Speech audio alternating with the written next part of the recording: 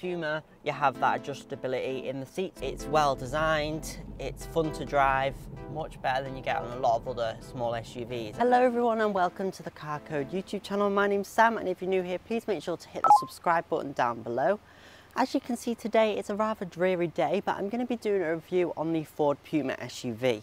Why you ask this car's been out for four years? The reason being is because it's one of the best small SUVs on the market and this year is Britain's best selling car with over 42,000 Pumas being sold so far this year. So it's very popular with the British public. So I'm going to see, does it live up to being the best selling car in the UK? Let's jump in first and take it for a drive, get out of the elements and see what it's like driving.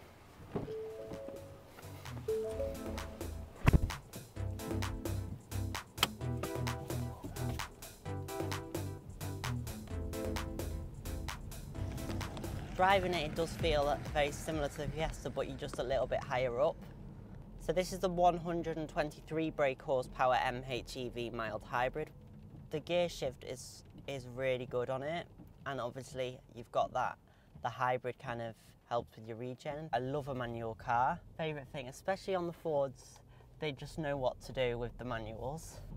You do have your different drive modes down here as well. Eco, which is what I normally drive in in my car. But that's quite cool. So that makes all the dials, that's nice, I like that. And slippery, I'm just gonna leave it in eco, I think. Your visibility is quite good out of the Puma. I really love the look of the Puma. One of my favourite small SUVs. You can see it puts a smile on my face, clearly. I just think it puts the fun back into driving. It's well designed, it's fun to drive, affordable to run. It just makes a lot of sense to me. They're not hard to get hold of. I mean, I'll show you when we get back to the dealership how many they've got there, used and new as well. There's so many about, it's great. You can see here they've got loads of pre-regs slash new Pumas as well. Now, one thing it doesn't have, it doesn't have like your auto hold when you stop because it's not an electronic handbrake, it's a normal handbrake. But most super mini SUVs have got a manual handbrake. So say a Arona, Volkswagen T-Cross and many more.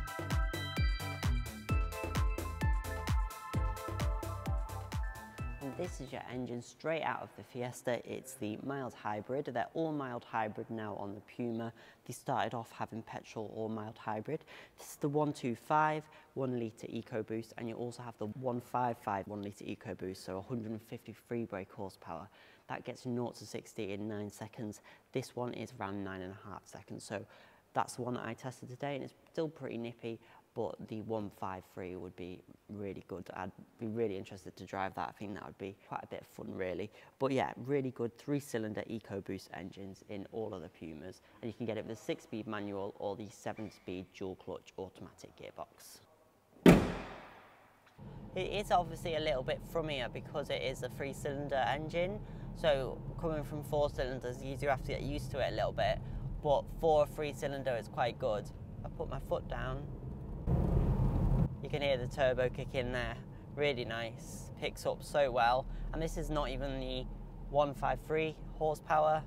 This is just the 123. Much better than you get on a lot of other small SUVs. That's the standard engine. Nippier than what you get on the Nissan Juke. And the Nissan Juke doesn't have any options of more power engines. They just have the hybrid or the one litre and their one litre pumps out 116 brake horsepower. The road noise has not been too bad either. It's not the most refined vehicle I've ever driven, but I'd say it's better than the Seat Arona for road noise. It actually doesn't weigh a whole lot more than a Ford Fiesta, so it's not a heavy car, but it does give you much more space than a Fiesta because the Fiesta it's a true super mini. So having the Puma makes a lot of sense and it also starts at less than the Ford Focus.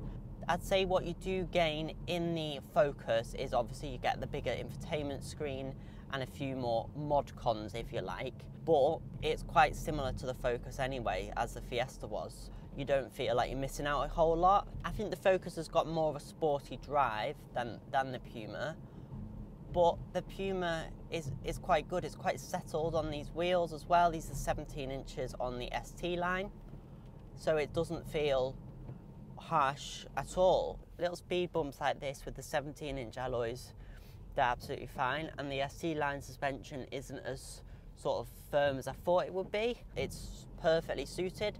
So you get 17 inch alloy wheels on the titanium and the ST line.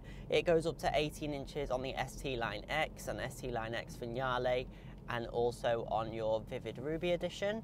So those are likely to be a little bit more firm ride and you can actually opt for 19 inch alloy wheels, which I just wouldn't bother doing. From what I've heard, they seem to have a bit more of a sort of firm suspension as you'd expect and maybe a little bit less comfortable than what you might want.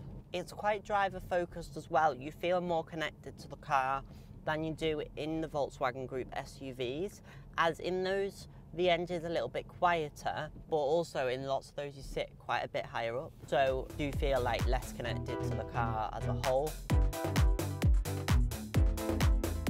Now, one thing that small SUVs do is be bold and the Puma definitely did that as well which I really love the look of it especially these big bulbous headlamps. They look excellent and they're such a great hark back to the original Puma. I'll put in a comparison picture. I think it's so nice. They really have got the spirit of that car back. Not everyone was happy with the fact that the name was reincarnated and it's now an SUV but honestly, with the way everything's going, I think it was ingenious from Ford. I think that was very clever. You can see here all the cladding is in body colour. So on the ST line cars, that's all body colour. So that looks quite nice and that gives it more of a hatch look rather than SUV. And that's kind of the whole vibe. It's not a proper high riding SUV. It's more of a crossover. So it fits a lot of people's lifestyles. And on the titanium, this is all just black plastic cladding like you'd normally expect on an SUV. You do have the option tinted rear windows for £250 on some models. This particular titanium model has got the option of the rear tinted windows, which are £250. I'd definitely go for that. I think the titanium is a great trim to go for, especially if you add a few different features on there. So if you add the rear tinted windows and the winter pack and the driver assist pack, I think that is a really high spec car that you've got there. It's coming in under £26,000 for the titanium. Obviously, once you add on those options, it does go up a bit the price, but it is priced well in the small SUV segment. It comes standard on the higher up models too. It is five doors only. It would be nice to see some like rear concealed door handles because obviously the original Puma was a three door coupe, but They've done a very good job of the body lines, making it look sporty. The front of the Puma, you do get your full LED headlamps as standard, which is great, and they are that lovely look. You can get different signature lights with different LED daytime running lights in for over £700, but I think these standard ones do the job great. You've got the Ford badge up here like you did on the pre-facelift Fiesta and I really like the placement there. We are expecting to see that move down and grow and it go into the middle of the grill for the facelift. But I do like it here, so we'll see how that looks on the facelift. For your grills, you've got this honeycomb style grill on your ST line and ST line X models, as well as the ST line Vivid Ruby edition. On the titanium, it's slightly different and you've got chrome surround on it instead. This is the front of your titanium model. As you can see, it's a little bit different. You've got the chrome surround and then a bit of chrome here as well. The grille on the ST Line X Vignale, I don't like it really. It's sort of a Mercedes-esque grille. I don't think it suits the look of the car as much as this grille. I think they've done a great job with this. This ST line is probably the trim that most people are going to go for. If you want front parking sensors on your Puma, you do have to opt for the parking pack, which is £500. It gives you the rear view camera and the front and rear sensors. Or you can get the driver assist pack for just under £1,000, which gives you adaptive cruise control, as well as the parking pack and a few extra features as well. So I definitely recommend going for the driver's pack.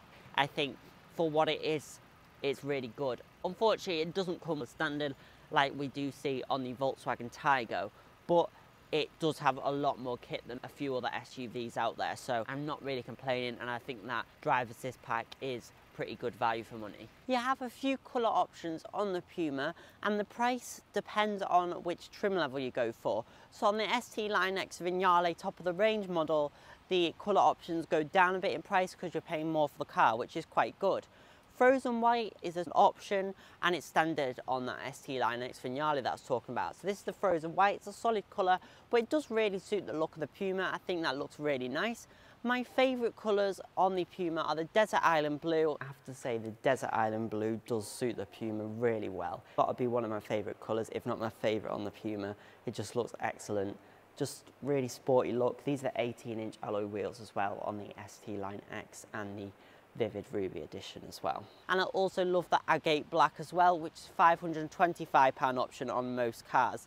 In between you have a lot of other cars. You have the fantastic red, which doesn't look very fantastic to me and is quite expensive. So that's not one for me. You do also have the Vivid Ruby Red, which is exclusive to the Vivid Ruby edition. And that's actually quite a cool colour. I do quite like that. But my favourite colour was the Metropolis White on the Puma, which is sort of an off-white colour. That was a stunning colour, but unfortunately that got discontinued last year. So you don't have the option of that anymore. But next year we are going to see a facelift of the Puma, so I'm really excited to see is Ford going to be a bit more experimental with the colours on the facelift?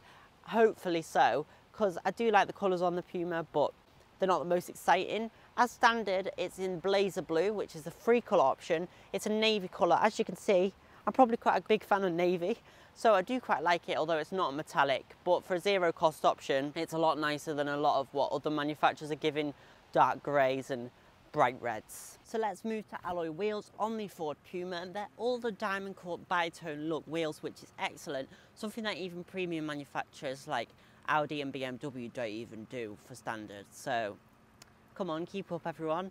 Ford's doing very well. 17 inches starts off with the 17 inches on the titanium. They're a really nice wheel. Then on the ST line, it goes up to these 17 inch alloys, which are lovely. Perfect blend of comfort and also the sporty ride. It's not got loads of roll, but it's nice and comfortable. So I'd say 17s are the perfect wheels for this car. Then it goes up to 18 inches on the ST Line X and the Vivid Red Ruby Edition. Then on the ST Line X Vignale, they've got their own style wheel.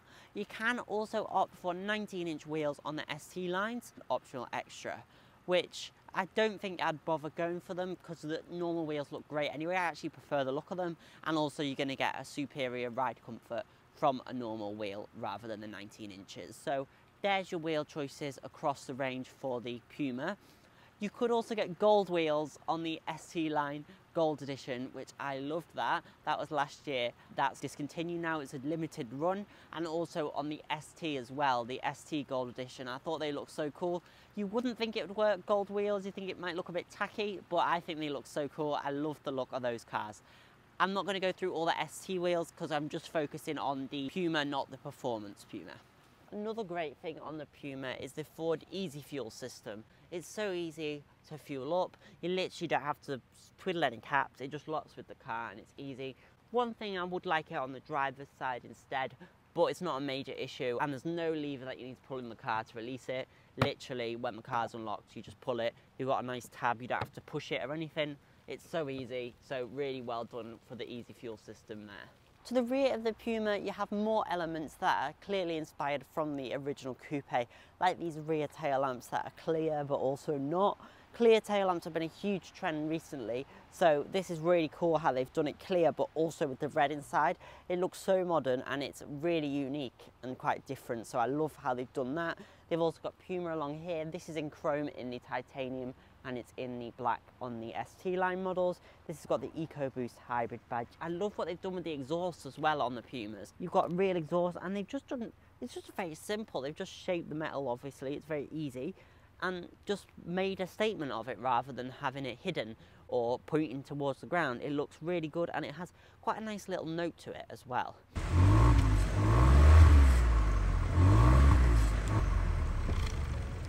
Got these reflectors, but they're not too bad. It looks like a really nice car, whatever trim level you go for.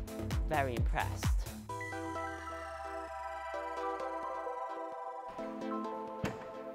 So to boot space on the Puma, this is the one in the showroom that's sheltered from the elements. Boot space for the Puma is excellent. You've got this integrated parcel shelf, which is really nice, and you can just detach that as well. It's like what we've seen on the new Honda HR-V, so that's really great. You've got really practical boot. You've got 456 litres of boot space, which is almost class leading, one of the best. It's really, really good. So it's better than the Arona, which gives you 400 litres. It's better than the Juke, which gives you 422, and many other cars. So it's done a really good job of the space. Underneath here, you've got what Ford called the Mega Box, which gives you even more storage, and you've also got a drainage plug as well. So if you get muddy boots in there, or whatever, you can actually rinse it out. See, it goes right down to the ground, so that's quite handy. You can also get a mini space saving spare wheel. That's a £200 option from new. Obviously, on used, you'll just have to see which one's out there that actually goes into the mega box so you don't lose that but the spare wheel goes in it and it just reduces the size and it also gets rid of that drainage plug as well. So if you do think that would be a useful feature then you'd go without the spare wheel but you've got a tire inflation kit like most new cars now anyway. Your false floors very practical as well. You can have the higher level and you could drop it down lower as well. Right, I'm going to take a seat in the back now and I'll show you what that's like. So the back of the Puma, what is it like? Well, it's clear that you're in a small SUV, it's not massive in here, but it's not too bad. You've got quite large rear windows. These, these ones aren't tinted, so they'll be a bit different on a tinted one. These seats are very comfortable. The middle seat is a proper middle seat. There's not many cars that do that now. So lots of small SUVs or just cars in general the middle seat's fairly usable. This one, you've got the transmission tunnel, so you have to put your feet on either side, but you don't have to proper mantle it, and you don't have to proper squeeze your feet in. So it's really comfortable for me. You could have three adults in here pretty comfortably. You've got two sets of ice ISOFIX points, which are nicely hidden away as well. Dark headlining, I thought it would be more claustrophobic in here, but we're literally under a tree in the shade, and I don't feel claustrophobic. And you've got nets in the back, Audi would want to charge you for a storage pack for those, but no, Ford, Ford give you that. So thumbs up in the back, no charger ports at all. So that lets it down a little bit, but the back for a small SUV, I'm very impressed with it. So what is the inside of the Puma like? Well, if you've seen my Fiesta review or been in a Fiesta, it's very familiar. It's pretty much the exact same. So they just lifted it off the Fiesta and put it in to this car, which is great. A few other small SUVs do the same thing. So the Volkswagen Taigo uses the Polo interior pretty much exactly the same. So this is the same. That's not a bad thing. Yeah this 8 inch center infotainment screen bang in the middle so it's not faced towards the driver which is a little annoying but because it's not massively big it's not a huge problem. It's very clear and really easy to use. So simplistic as well. You know exactly what to do. You just go onto your apps. You can connect your phone navigation phone, audio. So easy. I like that you've got the actual radio logos as well. I'll show you the rear sensors as well. So they just come up through there and also on here too.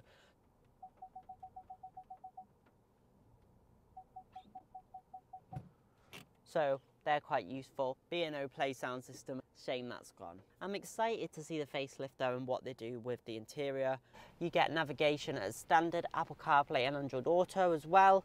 You've got your climate controls here, very easy to use. You can get a winter pack, which includes heated front seats and heated steering wheel for £350. That's really good option. On some manufacturers now, especially with Kia and also with Seat, they sort of have trim levels and each trim comes with specific things. Whereas Ford and Volkswagen, you kind of pick what you want.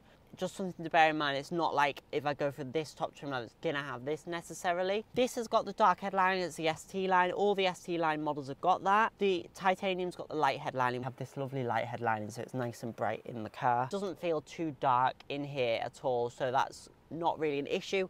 You can get a panoramic sunroof though for a thousand pound, which is nice that you could spec it across the range. You've got this alloy gear knob on this ST line. I really love this. You've got the manual handbrake like you do on most small SUVs. If you're coming from a car that's got an electronic handbrake, it just takes a little bit getting used to, but most people I find don't mind. I don't mind. I've got electronic handbrake on my car, but manual handbrake's fine. It's just stopping at lights and things like that it has auto hold coming up on the clutch, but not auto hold when you stop the car. So you have to put your foot on the brake or lift the handbrake up. You've got a little armrest, which feels a little flimsy and it's not adjustable, but it is nice that it's there. So I can't complain. Say Seat Arona doesn't have that there on lots of cars. You've got this 12.3 inch digital dials here on this ST line, and then you've got the semi-digitals on the titanium. Lumbar support on these seats is so good, how you adjust it with this dial here It's very well adjustable. Lots of cars don't have any adjustment on the lumbar support whatsoever. Whereas the Puma, you have that adjustability in the seat. I like to have it all the way out on this one. It's really comfortable, really soft seats. The bases aren't the most comfortable of all cars, but the backs are very good and the they hug you a little bit. The ST Line X seats are even better. These are the different seats you get in the ST Line X. They've got the leatherette and then the cloth inserts as well quite nice. They hug you maybe a little bit more than the ST line. And the titanium seats look really good too. Got these all fabric seats, really comfortable. You've got a different style gear stick, but still really good. And your leather wrapped steering wheel isn't the perforated sportier look on the ST line. And I love this red stitching everywhere in the cabin. It looks really nice and sporty. Before I get absolutely drenched through, I want to say a huge thanks to Pye Motors, Ford and Kendal for making this review possible and Dan Park, the sales manager, has been excellent and helped me do a few of my reviews. So it's been really great and I hope to do many more reviews here in the future. All their links in the description down below. Make sure to check them out. They've got so many Pumas in stock, so if you're looking for one of these, this is the right place to go. Thank you for watching this video and I hope to see you in my next review.